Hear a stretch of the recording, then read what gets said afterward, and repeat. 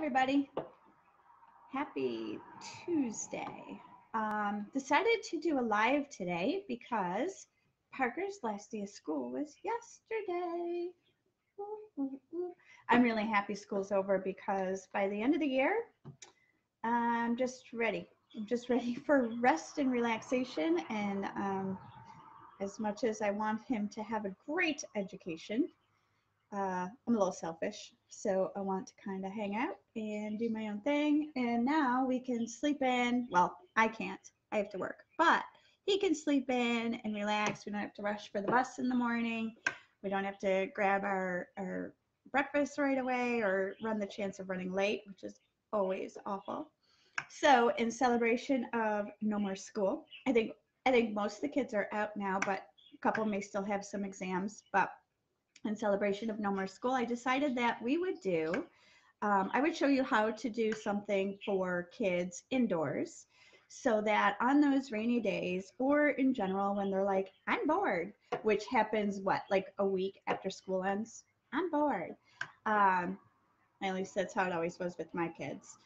You can whip this out and have them do something very creative um, that any level of artists can do, adults and children. So, and I would say you could go even as young as like four and five on this project because it is something that you can do with them.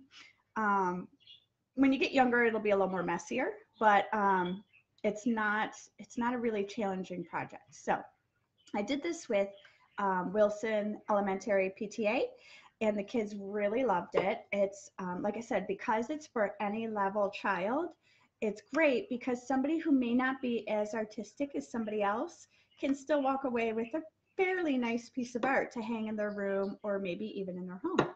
So my husband, my son and I did this. We've done it a few times and I've done it with my grandchildren and I do have them. Um, actually the right now a bunch of them are in my son's room, but I had I do display them. Um, many of them were done in red, white, and blue. So around 4th of July, I display them on our mantle. So like I said, fun project. You can use any size canvas. You can't, you need canvas for this project. You can't use paper because we are going to use, where did I put my tape? That right here. We're going to use tape with this. So we're painting on canvas. You can use any kind of paints. You can use house paint if you want. You can use acrylic, which is what I'm going to use. Um, and you don't have to buy the expensive acrylic. It can be like the, you can get like these little, you know, like the, the little jars, um, or you might even have some at home, moms, the little jars for like the um, toll painting and stuff. So it doesn't have to be expensive paint. But if you are going to buy some acrylics paints, what you can do is invest in these. This is Artist Loft. So it's kind of like, um, it is a student grade or lower grade paint, but it it works great. Um, but you can get these bigger bottles much cheaper. And you can also get um, Craft Smart paint. So there's that too. Um, and they have bigger bottles as well. So I do this for the kids because they don't need to have super expensive paint. And then I save the expensive stuff for myself. Um, you don't have to go crazy with paintbrushes. You can get um, uh, Artist Loft again, is sold at Michael's and maybe even Joann Fabrics. So you can get those types of paintbrushes. And you're going to want, though, a fairly larger brush. So something um, along the lines uh, and flat, a flat brush. But you don't have to do that. So something along the lines of this, okay, or even this. And like I said, they don't need to be um, expensive brushes, right? Some of these, though, with these, the metal with the um, the yellow bristles don't hold up really well. I found that I did buy a couple packages of these for the kids and they get really frustrated because the bristles will fall out into the paint as you're paint brushing and um, that's not fun for anybody whether we're advanced or not so i kind of stayed away from these but these brushes and i believe these were artist loft um, there's the brand oh I use them for charcoal and stuff too. So this has charcoal on it. But um, these work really good for um, for this project and just in general. I even use them for my really good paintings for commission work and stuff. I like them. So they're worth the investment and they're not expensive at all. and you can get different sizes. So that's what we're going to do today. I'm going to show you just a quick demo, and then you guys will be um, ready to do this with your grandchildren or your children, or if you are a babysitter. So it's great for that. So I'm going to switch you to the other camera. So here are your supplies. You need um, tape. You can use either masking tape or um, Daisy Quiet or painter's tape. I like Daisy. I like the painter's tape because it comes off, and I'll show you what I'm talking about. Um, it comes off nice and easy. Daisy, sorry, my dog. She's always attention. Hang on. No, down.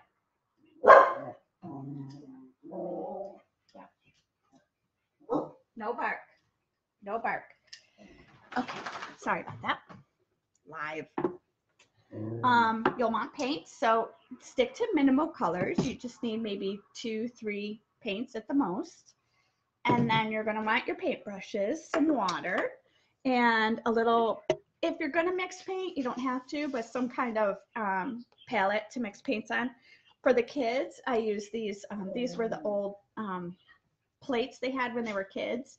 But I, uh, when I did like the um, elementary school and stuff, I just bought paper plates. They work great, and then you just throw them out when you're done. You can also use saran wrap, like lace the saran wrap down and let them mix on that, or foil, anything like that that's cheap. You don't have to run out and buy expensive stuff. And then if you want any kind of like little template, so that we can, um, like this can make great circles. We can press it down on the canvas and make wonderful circles and then you're going to want your canvas. Um, so I usually buy these. They're they're thinner, right? This is an eight by ten, and you can get them in um, packs. You can also get bigger canvases or smaller canvases. I wouldn't go too much smaller um, because you want to have some white space left. Um, but you can get these. You can get them on the website dickblick.com. That's where I got these. They're very, they're much cheaper. You can get them at Michael's in packs, or you can get the um, Daisy, Daisy down, or you can get the three quarter inch canvases. Um, that that way they you can just paint them and then hang them. With these, you need to frame them somehow, but they're cheaper. They're cheaper than buying other canvases. So I get these for the grandchildren a lot. Um, so what we're going to do, I'm going to switch it to the other camera, maybe, if I can. Um, let's see. Oh, maybe I can't. So in that case, I will just lift it. It's not going to let me switch. So what you do is you take your canvas and your tape, right? And you're going to go ahead and just tape off a random design. Doesn't have to be anything special. And the kids can do this. They can make any design that they want. So they can place their tape in any spot on the canvas that they want. What you need to remember is make your tape longer than the canvas itself, the pieces, because we want to be able to pull these off when we're done. So you want to have these little tabs. I've, I've kind of wrapped them around the canvas um, so that you can take those and pull it off when we're done. So what we're going to do is you tape this down you get your design. You want to leave white space in between. If you put your tape too close to each other, it's going to be like a big white blob. So make sure you've got space in between your pieces. So you can see I've got some space here and up in here. Whoop, up in here and up here. Oh, it's all backwards to me. Um, so don't put them really close to each other and don't fill too much of the canvas with tape. Just remind them of that because we actually, this is going to be the actual design of the picture when we're done. So we're going to paint right over this and then we're going to peel the paint off and when where the tape is, is going to be white strips and that's going to be the actual picture. So you've got this. So you've taped it off and then you're just going to take some paint colors. It doesn't matter. I like to do, um, I, because they're the cheap paints, you have limited color, but I show the kids how to how to mix too. But we'll just for today, we'll just show you. Um, I'll just put some. Now you'd want to put this on a palette, right? So you're going to squirt the paint out and give them a couple of colors, and they don't need a lot. Um, paint goes a long way. Let me get this out. Just use newspaper underneath their prod their area um, to kind of keep it clean Newspaper works great. Lay it all over the table and then like an old blanket or sheet underneath the table in case any paint gets spilled or, or do it right outside. That's the best. Um, and then you can take your paintbrush and section, you can paint in sections. So I've got some blue and I'll put some red on here and I'll show you really quick how this kind of comes out. So we got some red and I will also do, I'll do another shade of blue just to kind of keep it coordinated a little bit. But this is a great way to teach children about the color wheel and complementary colors and um, show them how to mix colors with your primary colors, how you can take red, blue, and yellow and get any color you want by mixing them in different ratios. So it's a great project to teach them about color and to teach them about how complementary colors in the color wheel. Um, and if you don't know, just do a quick search on Google and they'll break it down for you really easy to kind of teach your kids. So I've got those colors. So now I'm going to take my brush. I have to clean this one because I um, had used it for charcoal. So let me see. I don't know how this is going to turn out because I had some charcoal in it, but we'll try. I use paintbrushes a lot in graphite and charcoal. So then we take our canvas. We're going to take our colors and just have the kids paint. They can paint the whole thing one color if they want, or they can paint sections different colors. So again, you can also teach them about color balance and asymmetrical paintings and symmetrical paintings, all that stuff. So just by this simple project, or this is like a geometric painting, not necessarily abstract. We're not removing from um, our true life thing, but we're doing more of a geometric pattern, more shapes. So you're just gonna cover the spots. If you do use a canvas that has the three quarter inch side, ask the kids to paint all, along the edges as well, so that when it's done, all the sides are painted and you don't have to worry about it. So we'll paint that blue, and then I'm gonna put blue in another, the same blue, I'm gonna put, um,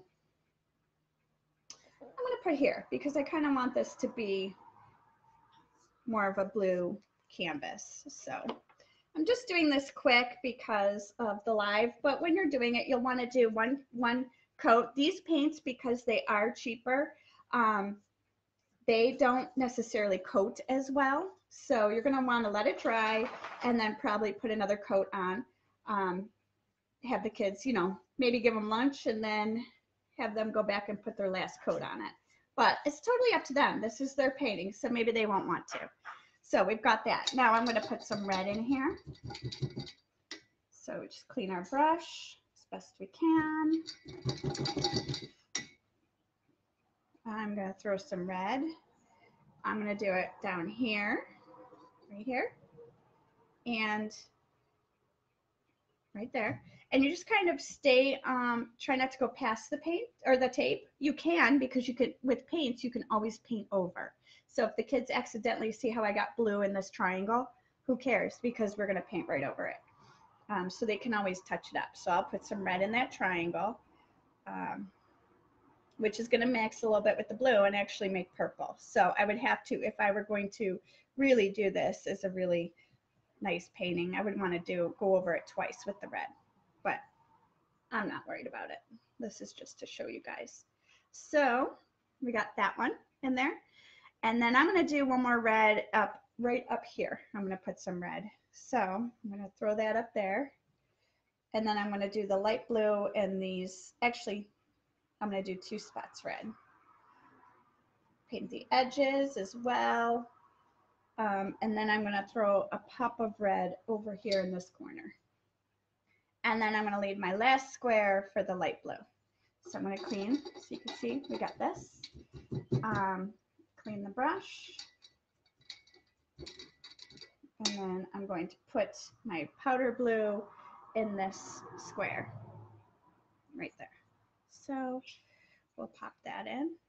Now when you're taping down these, um, the tape on the canvas when you first start, mom and dad, you might want to run your finger along the edges of the tape. Just be sure it's really down. The kids don't always do that And what'll happen is the paint seeps through and they get very discouraged because it's got fuzzy edges. So, um, you know, you want to you want to kind of help them with that or tell them to do it if they're older.